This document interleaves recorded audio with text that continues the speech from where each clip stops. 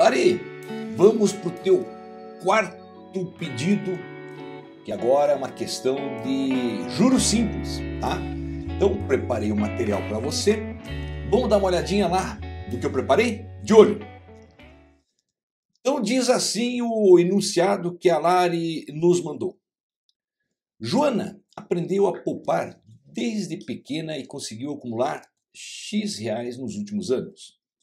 Após uma aula de matemática financeira, percebeu as vantagens das aplicações bancárias e motivou-se a investir suas economias, aplicando a quarta parte de X em investimento à taxa de juros simples de 2% ao mês e a terça parte de X em outro investimento à taxa de juros simples de 3% ao mês.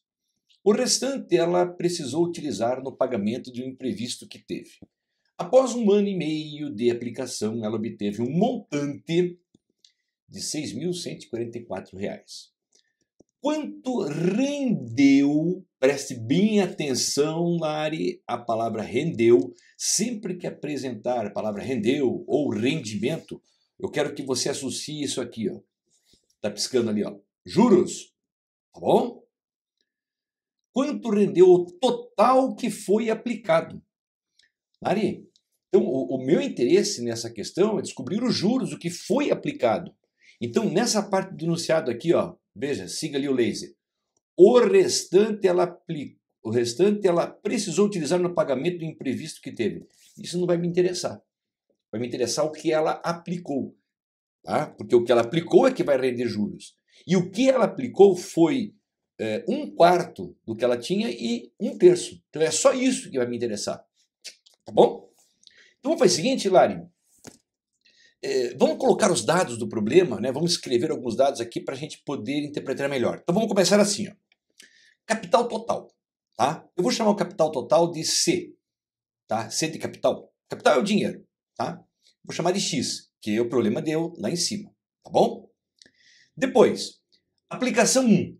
Foi a primeira aplicação que ela fez. Diz que foi um quarto de X, ou seja, chamado de capital índice 1, que vai ser o que ela vai aplicar, X sobre 4, tá bom? E disse que foi a uma taxa de 2% ao mês. O I é a taxa, chamando de I índice 1, tá? Que é da aplicação 1. Depois, teve uma aplicação 2, né? Que foi a terça parte de x. Então, x sobre 3, chamado de capital índice 2, tá bom? E a taxa de aplicação desta foi de 3% ao mês, tá bom? Bom, tudo isso após um ano e meio de aplicação. Então, o N é igual para os dois. Um ano e seis meses. Um ano e meio, tá bom? E diz que tudo isso gerou um montante de 6.144. Então tá lá, M, montante. Bom, esses são os dados da leitura do problema. Vamos para o seguinte, Lari. Vamos fixar essas informações que eu vou utilizar até o final. Então, vamos lá. Fixei todos esses dados aqui desse lado esquerdo aqui da minha tela, certo? Antes de a gente começar a trabalhar, Lari, deixa eu falar uma coisa importante de matemática financeira para você. Tá? Isso vale tanto para juros simples como para juros compostos, tá, filha? Observe na aplicação 1. Olha a taxa. Ela está 2% ao mês. E o tempo está um ano e seis meses. Lari, a taxa e o tempo, ambos têm que estar na mesma unidade de tempo. Para, não entendi. A taxa está ao mês e o tempo está ao ano e mês. Hum, Está misturado.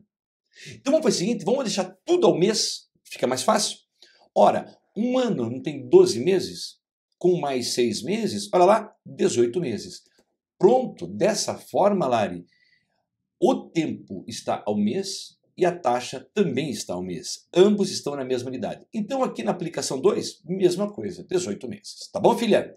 Bom, feita essa ressalva, vamos começar a fazer um remember, uma lembrança. Montante. O que é o montante na matemática financeira, filha? Montante nada mais é do que capital mais juros. É, é o capital que você aplicou mais os juros que esse capital rendeu. Isso é montante. Capital mais juros. Mas o que é juros? Então, olha lá. Juros. Os juros nada mais é do que capital, que multiplica a taxa, que multiplica o tempo, N. Ah, filha, talvez você use o tempo com a letra T, né? Daí aqui vai ser T1, é, T índice 1 e T índice 2. E aqui é apenas T, tá bom? Letra T.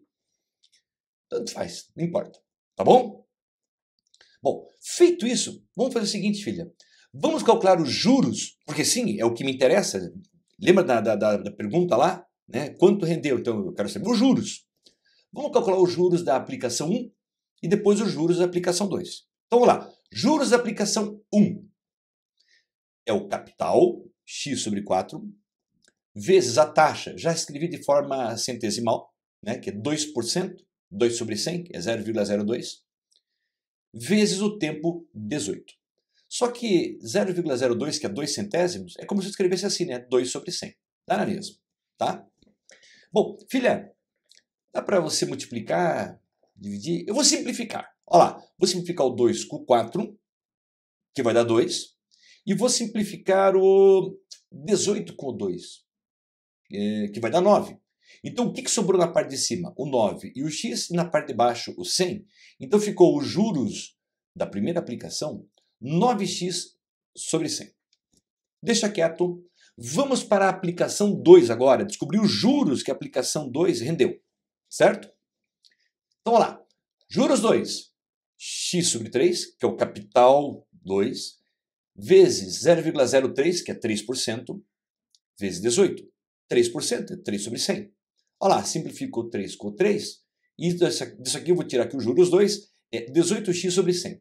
Eu sei que você deve estar pensando assim, o Bará, não dá para simplificar o 18 com 100? Dá, filha, dá, dá para simplificar. Mas eu não quero. Hum. Por quê?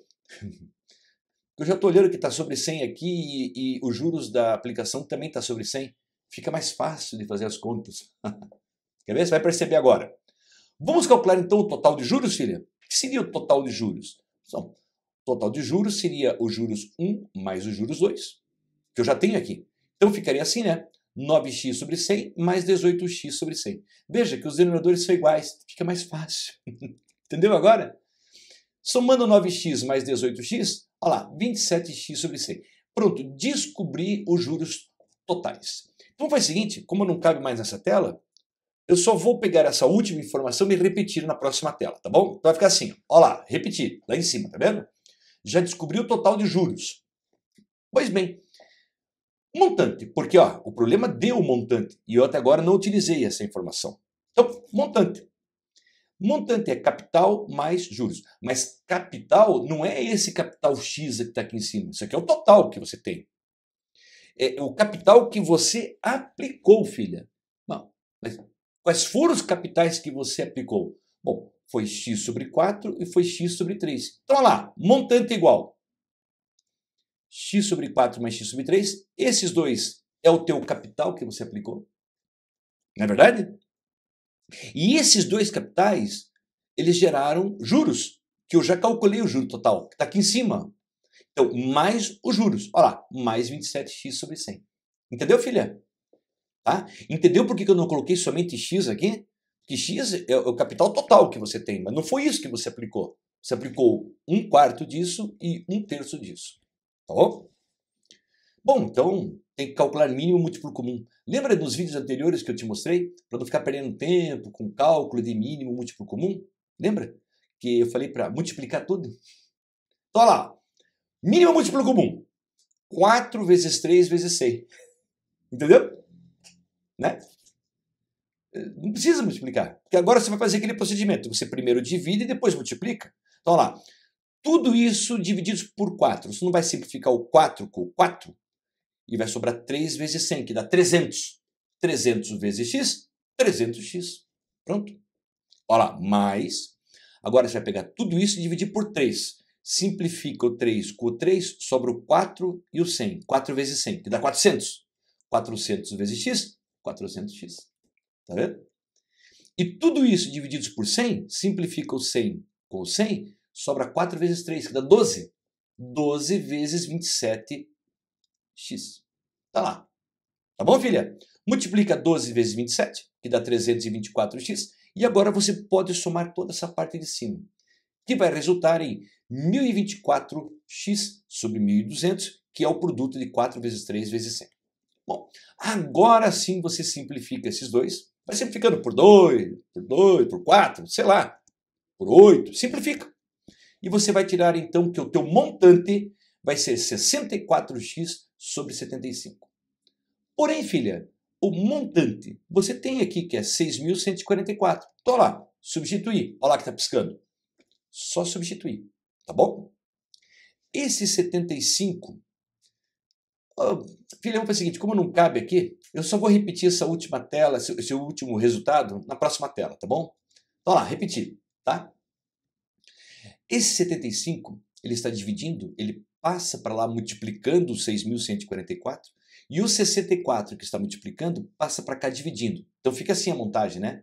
6.144 vezes 75 divididos por 64. Tudo igual a x. Simplifica o que eu puder. Esses dois, por exemplo, vai dar 96.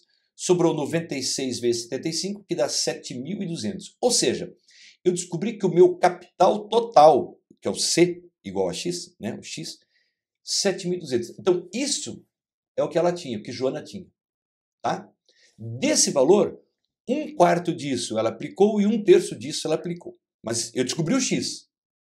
Mas espera aí, não era isso que eu estava pedindo.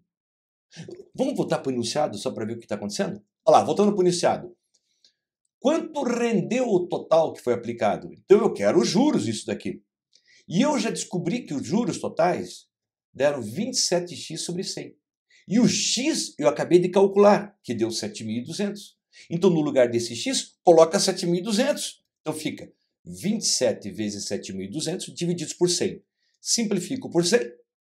Sobrou 27 vezes 72. Multiplicando isso aqui, 1.944 foi o juros total. Cuja resposta está lá, ó, letra E. Ou letra E, tanto faz. Tá bom? Daí, filha, entendeu a questão? Questãozinha de matemática financeira, juros simples, tá bom? Espero que você tenha entendido. Qualquer dúvida você berra para nós, tá bom? E vamos para a quinta questão. Tchau, filha. Até!